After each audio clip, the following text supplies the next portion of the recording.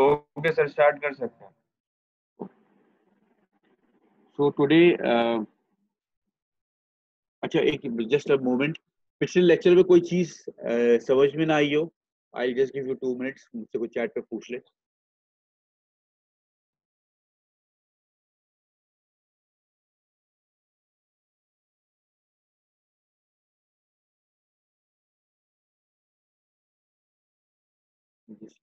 एक एक आध मिनट और दूँगा फिर मैं स्टार्ट करता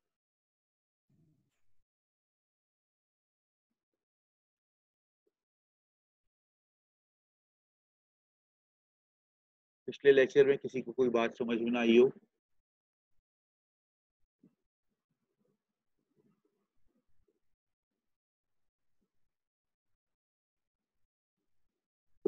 I will start.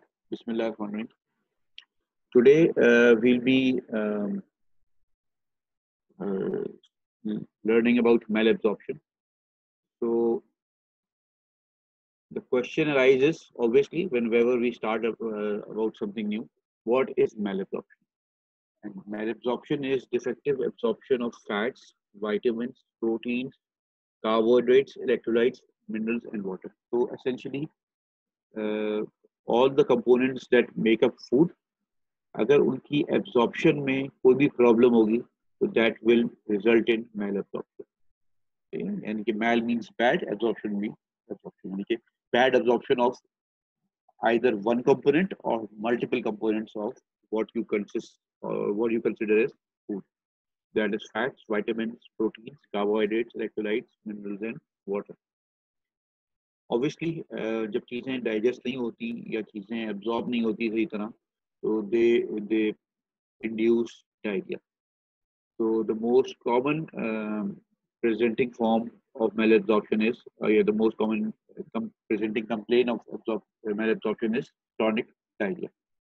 सिर्फ लाजमी नहीं कि क्रॉनिक डायरिया हो ये भी हो सकता है कि कोई स्पेसिफिक एग्जांपल अगर किसी विटामिन की डेफिशिएंसी की वजह से मेल एब्जॉर्प्शन हो रही है या विटामिन की मेल एब्जॉर्प्शन हो रही है तो हो सकता है कि it might present with anaemia it might present with numbness it might present with tingling or मगर most commonly जो प्रेजेंटिंग कंप्लेन होती है वो मैलाडॉप्शन की क्रॉनिक डायरिया होती है along with uh, diarrhea the patients will complain of weight loss anorexia abdominal distension borborygmi and muscle wasting also so depending on the severity uh, the components that are being malabsorbed uh, and the chronicity of the lesion these symptoms and complaints may vary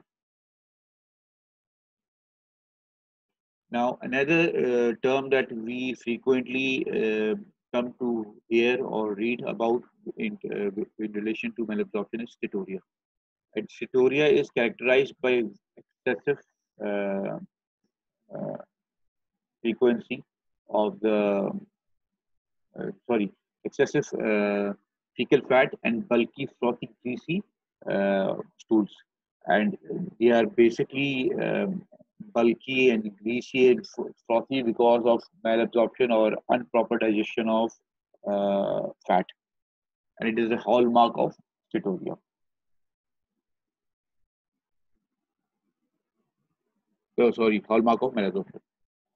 Now, when we uh, consider absorption, there are four phases in which uh, a nutrient is digested and ultimately absorbed.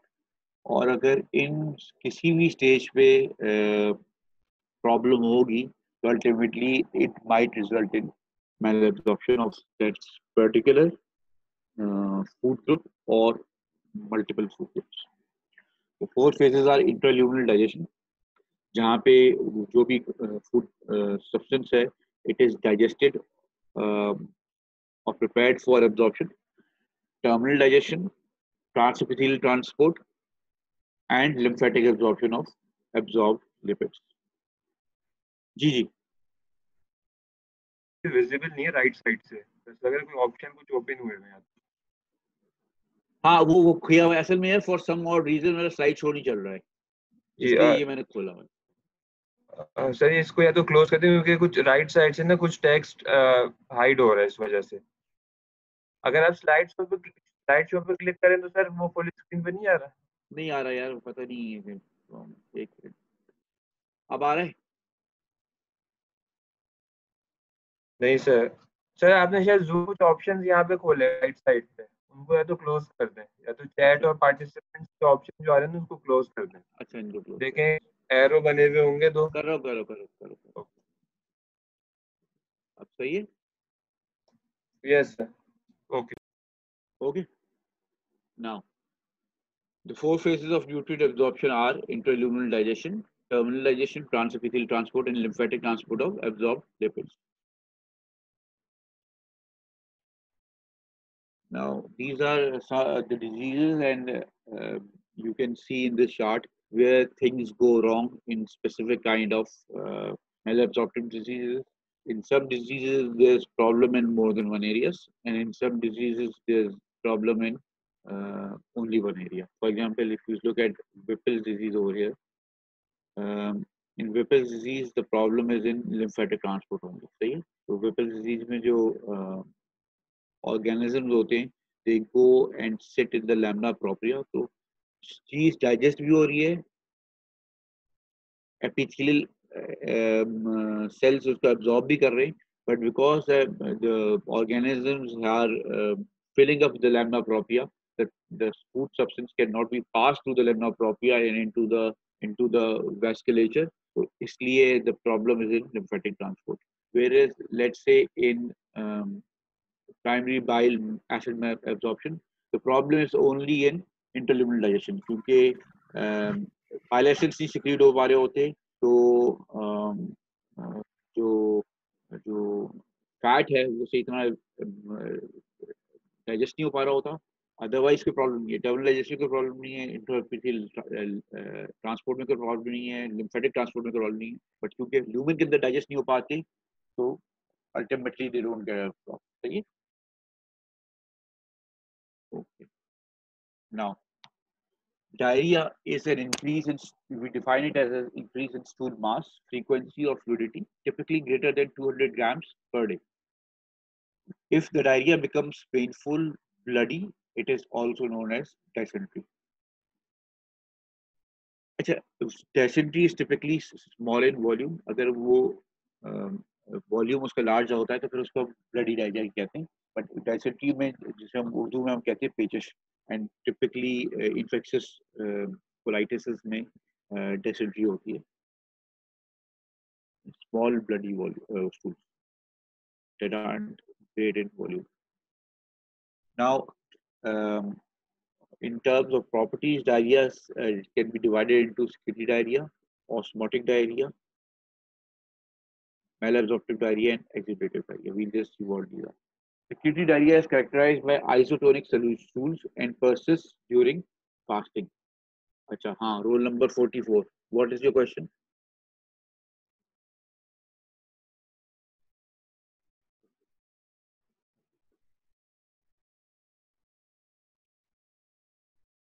Call number 44 ने hand raise किया था।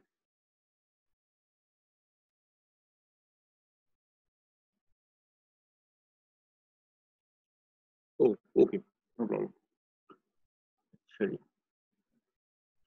Secretory diarrhoea is characterized by isotonic stools and persists during fasting so इसका important point ये है कि अक्सर क्योंकि हमारे जब किसी को डायरिया होता है तो पहली चीज़ जो बोली जाती होती है, खाना छोड़ दो या एहतियात कर लो।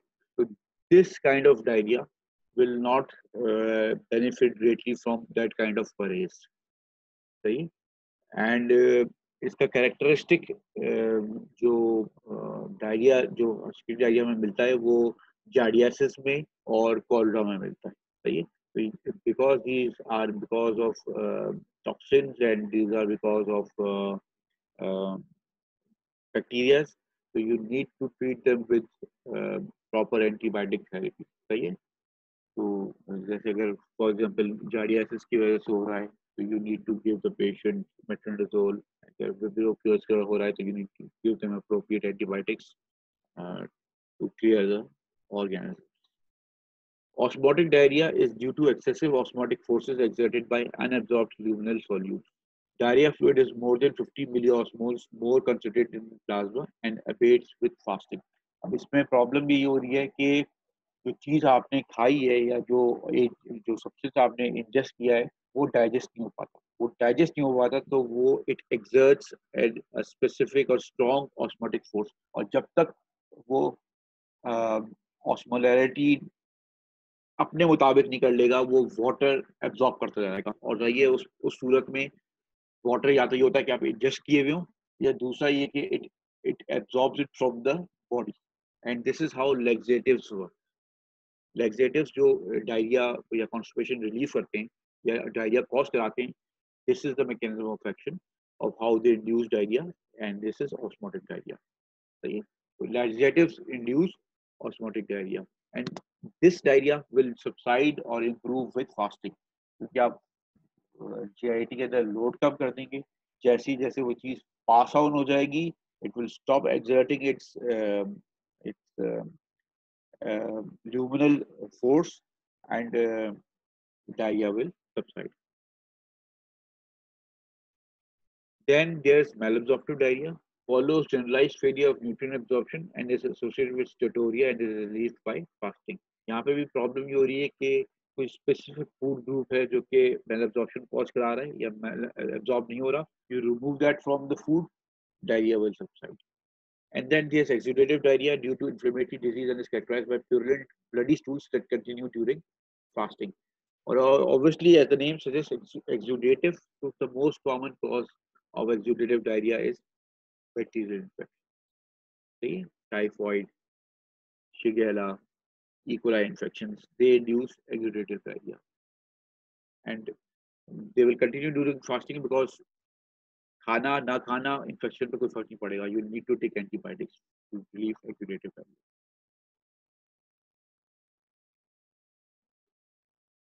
Okay.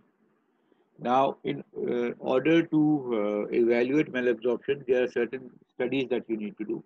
The most common and simple study is fecal fat analysis, whether to, to check whether there is steatorrhea or not. If fecal fat is positive, it will stain positive for Sudan black, which stains the fecal fat, and it is positive in cases of moderate to severe steatorrhea. Another uh, test that we can do for uh, malabsorptive diseases is D of, of xylose absorption. अच्छा ये test हर lab में होते नहीं है they are rare test but nonetheless you must know that because ये steps of lab वगैरह में आ जाते हैं Xylose is a five sugar carbon whose absorption does not require any component of luminal phase. Okay? So when you give uh, D-xylose absorption uh, in the diet, जो उसकी absorption है और उसकी urinary excretion है वो fix होगी यानी कि अगर कोई uh, उसकी एब्जॉर्प्शन में कोई प्रॉब्लम हो मतलब जो एब्जॉर्ब जो एब्जॉर्प्टिव फेजेस हैं डाइजेशन के उनमें कोई प्रॉब्लम होगी तो you give, for example, 10 grams of xylose and you calculate the amount being secreted in the uh, urine. अगर वो उतना ही प्रोपोर्शनेटली नहीं होगा तो उसका मतलब आप बता सकते हैं कि there is a problem in external double phases of digestion यानी कि जो एब्जॉर्प्शन का फ़ेज़ है उसमें प्रॉब्लम आ रही है The blood levels and urinary excretion of this compound after ingestion of a defined amount thus are useful to test for intestinal phase of the absorption. Schilling test. Originally devised to diagnose pernicious anemia, this test has been modified to test ileal absorption, bacterial overgrowth, and pancreatic function. और ये करते इस तरह हैं कि initially आप patient को कोवोलामीन देते हैं वाइटामिन देते हैं which is radioisotope vitamin B twelve now pernicious anaemia में क्या होगा कि जब आप इनिशियली ये देंगे because there is a lack of intrinsic factor it will not get uh, absorbed and it will pass on in the feces but with when you supplement it with intrinsic factor तो pernicious anemia में uh, vitamin B12 deficiency correct हो जाती है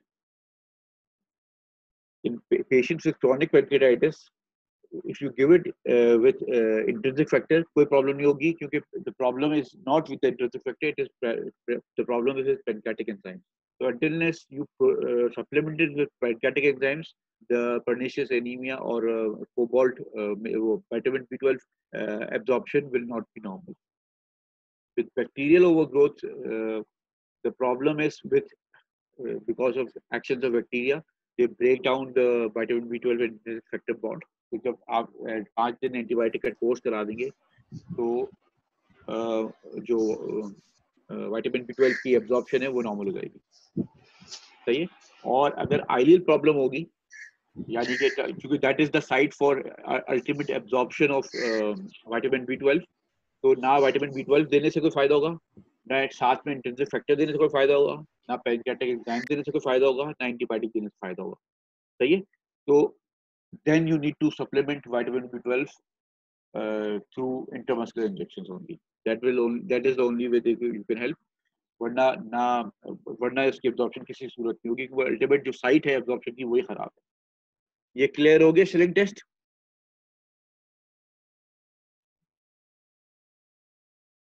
class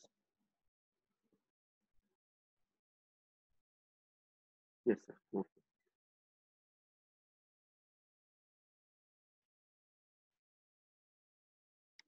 Now, no, sir, no, sir, I thought so. Okay. देखो बेटा इस test को करते ही हुए कि आपने radio isotope labelled vitamin B twelve दिया। अगर अगर ये एब्जॉर्ब हो गया तो कोई प्रॉब्लम नहीं है। इसका मतलब है कि ना परनीशियस एनीमिया है आपको ना क्रॉनिक पेंक्रेटिस की प्रॉब्लम है ना बैक्टीरियल ओवरग्रोथ की प्रॉब्लम है ना आपका टर्मिनाइलियम में कोई प्रॉब्लम है। सही है? नाउ अगर एब्जॉर्प्शन नहीं हो पाती So there, there are three possibilities. या तो प्रॉब्लम इंट्रेंसिक फैक्टर की है यानी कि पर्निशियस एनीमिया आपको। सॉरी uh, अगर इंट्रेंसिक uh, फैक्टर आप दे देते हैं और एब्जॉर्प्शन सही हो जाती है तो उसका मतलब है कि the problem was in the stomach and you had pernicious anaemia now if you supplement it with intrinsic factor and still it is not being absorbed either there's problem with the pancreatic enzymes or there is bacterial overgrowth or there's problem in the terminal ileum अगर आप पेनकाटिक enzymes they देते हैं और B twelve deficiency correct हो जाती है तो उसका मतलब है कि the problem was in the pancreas if you give treat the patients अगर पेंक्रियाटिक एंजाइम देते हैं उसके बावजूद पर्निशियस एनीमिया करेक्ट नहीं होता there are two possibilities either there's a problem with antibiotic uh, bacterial overgrowth or there's a problem in the terminal ileum.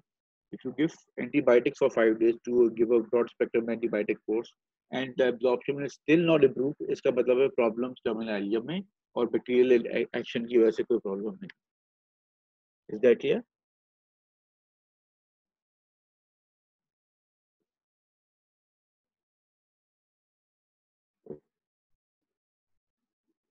Now, celiac disease. Coeliac disease is an immune mediated enteropathy अच्छा इसमें सब celiac disease में सबसे important बात ये कि अभी हम देखेंगे कि प्रॉब्लम होता है ग्लूटेन के साथ which is a component of the component of wheat protein अब अगर आप जेनेटिकली ससेप्टेबल हैं तो ये प्रॉब्लम होगी।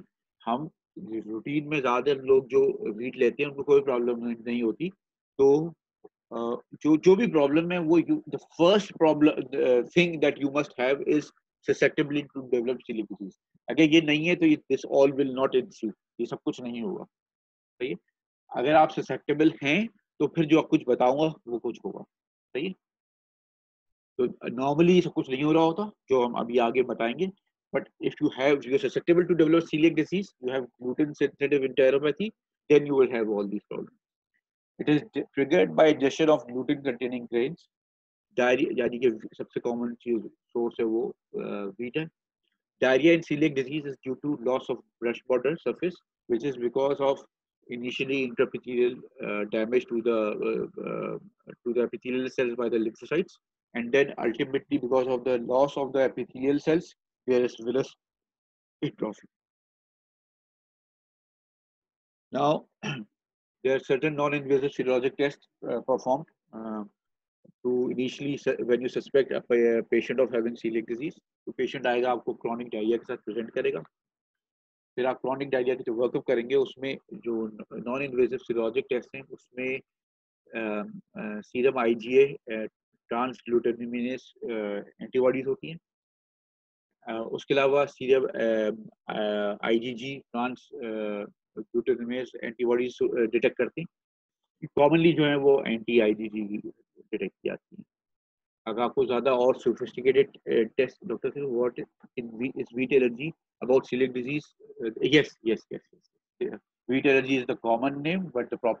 celiac disease absence Achha, it, it, it, uh, because it's an immune mediated disease um, uh, um, uh, celiac disease so there are certain um, HLA uh, types haplotypes that have a very strong predisposition we have very strong association with uh, celiac disease and they are HLA-DQ2 and HLA-DQ8. Meaning that if you have, uh, if you don't have HLA-DQ2 or HLA-DQ8, there's a very small chance that you might have celiac disease. See? Fortunately enough, this uh, celiac disease is not that common in our part of the world. It's more common in the West But nonetheless, you do see oh, uh, uh, patients of celiac disease in our part of the world also. But it's much uh, less common as compared to the West.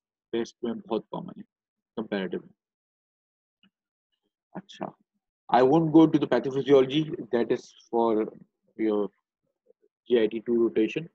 But important thing is कि uh, जो root uh, उसमें uh, gluten में wheat में एक protein होता है gluten और gluten में भी स्पेसिफिक कंपोनेंट होता है ग्लाइडिन it is an allergy or it is an uh, allergy though it's not the proper word but there's a uh, there's a uh, inability to process this gliadin protein properly and that induces uh, an immune response in which uh, T lymphocytes start attacking the epithelial cells of the intestine in patients susceptible to gluten sensitive uh, uh, to gliadin. Right? So it is a gluten sensitive enteropathy. That is the proper name. Celiac disease is a classic name. Gluten sensitive enteropathy is the proper name. Now, environment enteropathy. It is um, a, a disease which is prevalent in areas with poor sanitation it is estimated uh, to affect around 150 million uh, children worldwide and may contribute to a very large number of childhood deaths. And this is a problem of our region. So, the poor sanitation या chronic uh, जो poor water की वो है poor water quality this is a risk factor for development of environmental interruption और treatment और ये क्या, होता हाँ what is aetiology about disease my cousin in eighteen अच्छा ये मैं करा लूँ, फिर फिर बात करते हैं, सही है? आई आंसर दैट क्वेश्चन सही अच्छा uh, environmental enteropathy So uh, basically, uh, the the thing that goes wrong in, in environmental enteropathy is because of chronic exposure to fecal pathogens. What happens is the intestine becomes permanently damaged, or to the extent के in के जब आप इनको later on uh, uh, broad spectrum antibiotics देते हैं तो they even stop responding to that. और इसकी वजह से होता ये कि um, uh, because of this kind of malabsorption what happens is the, the children are at uh, risk for developing serious malabsorptive complications and um, um, unfortunately this जो जो damage हो जाता है वो हो जाता है और इसलिए the uh, that the child remain uh, challenged or sick for the for an extended period और वो जो जो डेवलपमेंटल फेज में जो मेलब्जॉर्प्शन की वजह से डैमेज होता है वो एट टाइम्स इरिवर्सिबल होता है तो पूरी पूरी जनरेशन या पूरे पूरे एरियाज़ जो पॉवर्टी स्ट्रिकन एरियाज़ हैं they are at risk for development of eye related problems growth retardation mental retardation or some degree of mental retardation it's a serious problem इसलिए uh, improving the water quality is really important with 150 million children worldwide it's a huge number these people or these individuals are at risk for development of long-term mental retardation Okay. Lactase deficiency uh, um, is basically a problem in the uh. There's a problem in the apical brush border uh, where lactase, lactose uh, sugars are uh, lactate sugars are digested by lactose. Um, and it, what happens is क्योंकि यहाँ पे absorption नहीं हो पाती तो this these patients tend to develop osmotic diarrhea क्योंकि uh, lactose sugars uh, uh, digest new baki, they reduce osmotic pressure. Fluid is absorbed from the intestine and it reduces osmotic pressure. Uh, there are two clinical forms, autosomal recessive, which is severe and rare. And until unless you give these patients uh, lactose-free uh, milk, the, it's difficult for these babies to survive.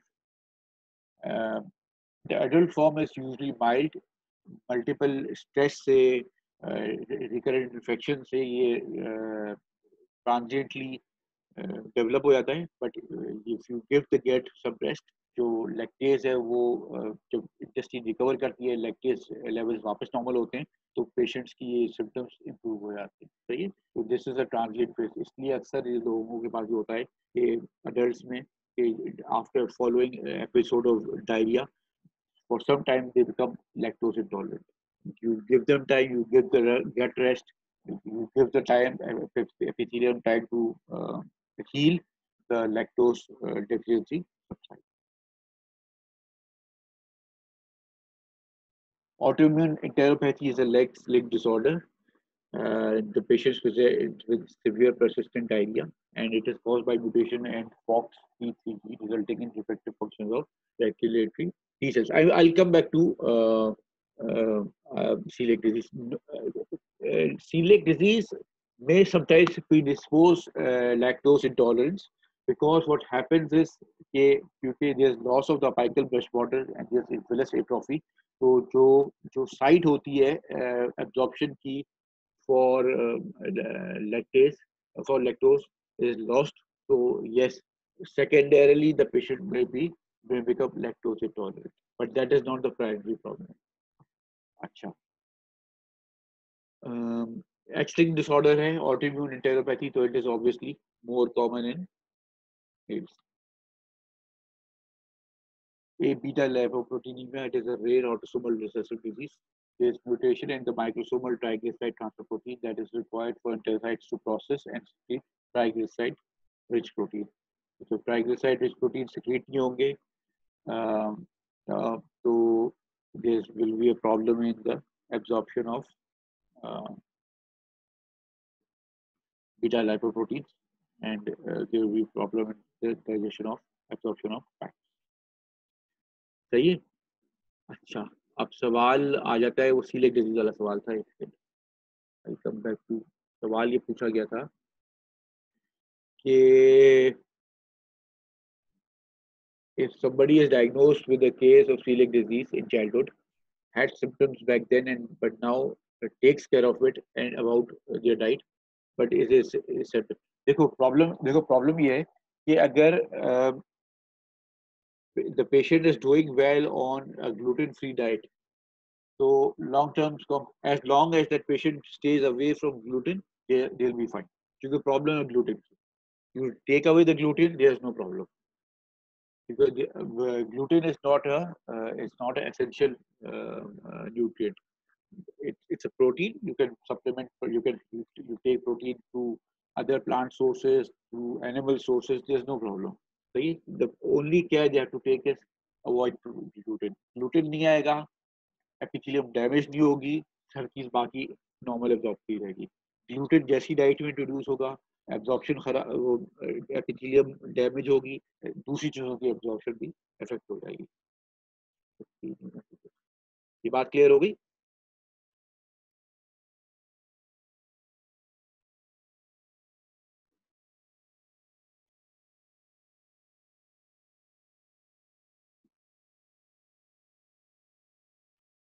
अच्छा देखो, इसमें ये होता है कि ना coeliac disease भी एक एक पूरा एक स्पेक्ट्रम है। सम पेशेंट्स जैसे जो क्लासिक प्रेजेंटेशन होती है सीलिक डिज़ीज़ की भी होती है कि बच, बच्चे की माँ आएगी छः आठ महीने के बाद के डॉक्टर साहब मैं जैसे ही इसको कुछ खिलाती हूँ क्योंकि जनरली हमारे यहाँ जो पहली चीज़ दी जाती है वो सीलेक दिया जा रहा होता है या या सूजी का हलवा या कुछ तरह की सॉफ्ट डाइट्स दी जाती है ना सूजी आटे से बनती है सीलेक में वीट होता है। तो यू स्टार्टेड पहली कंप्लेन ये होती है कि जैसे ही कुछ खाता है बच्चा उसका डायरिया स्टार्ट हो जाता है एज सुन एज ही और she gets of milk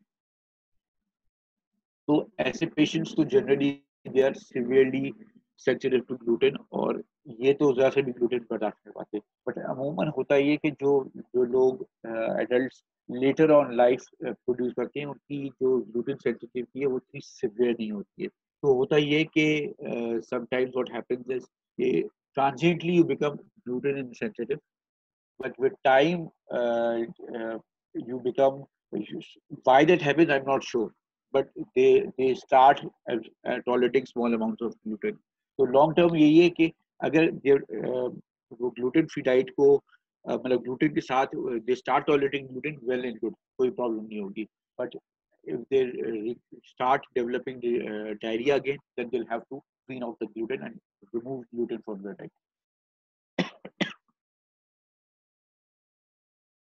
yes, it might. देखो ये ये सिर्फ़ सिम्टम्स बताएँगे कि वीट प्रोडक्ट्स अगर डैमेज कर रही हैं तो ऑब्वियसली डायरिया स्टार्ट हो जाएगा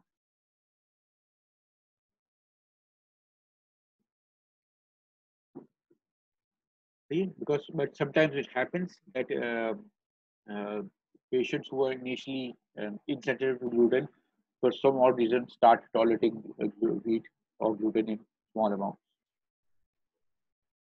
तो वापस रोटी रोटी स्टार्ट हो जाती है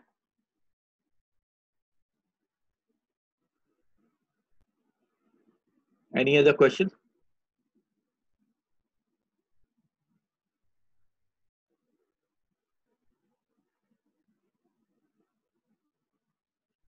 Inter environment enteropathy beta uh, basically you know it's a diagnosis of uh, it's a clinical diagnosis.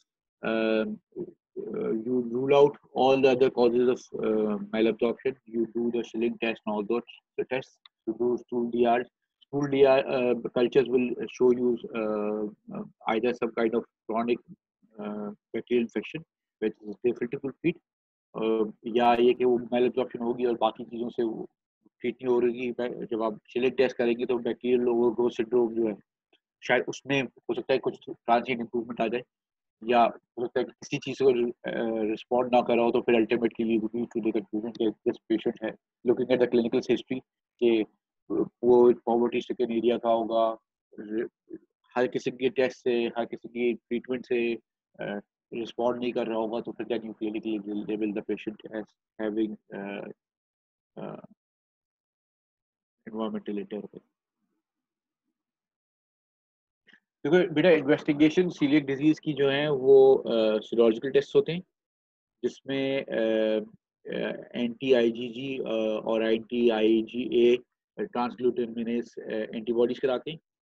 उसके अलावा जो, ये ये वो हैं जो रूटीन में यूज़ की जाती हैं। फिर जो सेकेंड लाइन आती है काम किया वो एच एल ए टाइपिंग करवाते हैं, और अगर patient H L A D Q two और डी क्यू एट नेगेटिव है there is a very little chance of that patient having disease अगर ये दो पॉजिटिव आते हैं तो फिर आपका चांस होता है। फिर अल्टीमेटली उसको कंफर्म करते हैं बायोप्सी से। बायोप्सी पे दो चीज़ें आती हैं। अगर माइल्ड केसेस में you only see increase number of intraepithelial lymphocytes यानी कि एपिथेलियम के अंदर जो लिम्फोसाइट्स का नंबर है, वो बढ़ जाता है।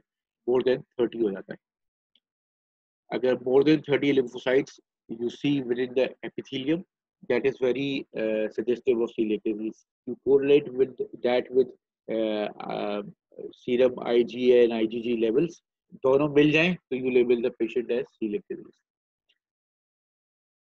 अगर इंटरपेथियल इंटरपेथियल लिम्फोसाइटोसिस के कॉजेज और भी होते हैं तो सीरियम आईजी और IgG level plus intraepithelial lymphocytosis plus minus villous atrophy you label the patient as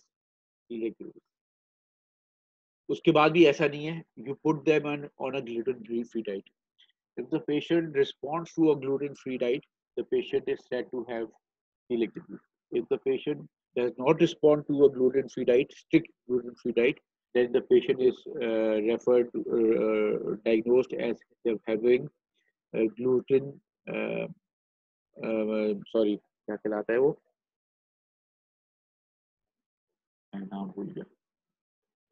एक सेकंड बेटा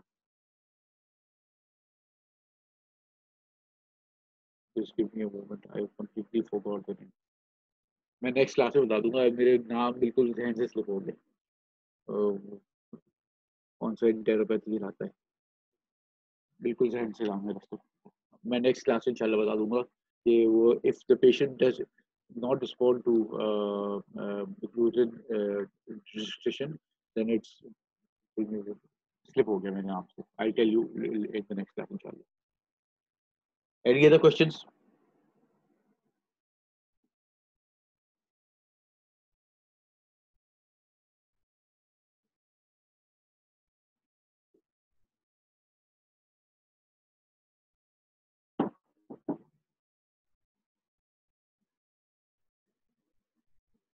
So coming back to the question number 20, uh, roll, uh, roll number 25's question.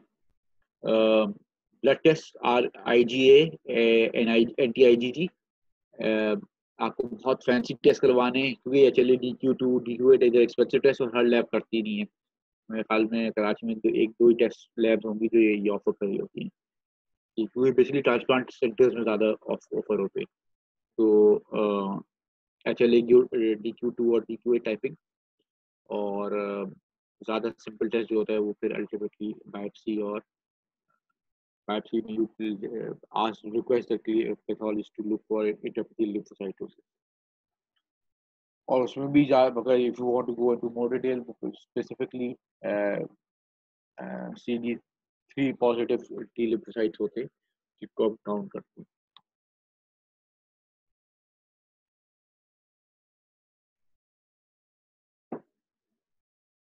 Okay.